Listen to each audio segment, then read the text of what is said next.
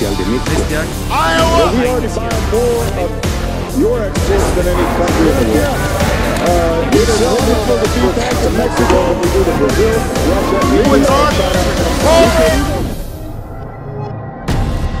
Eh, pusimos esta solicitud ante la Lotería Nacional para que los sonorenses se sintieran más orgullosos de su festival y que vieran que este festival es, eh, penetra en el país, es importante en México, también es importante eh, fuera de nuestras fronteras, en el exterior.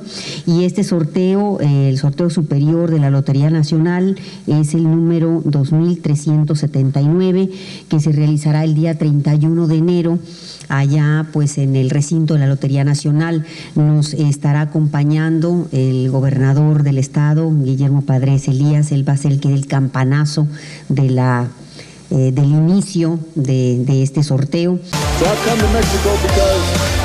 So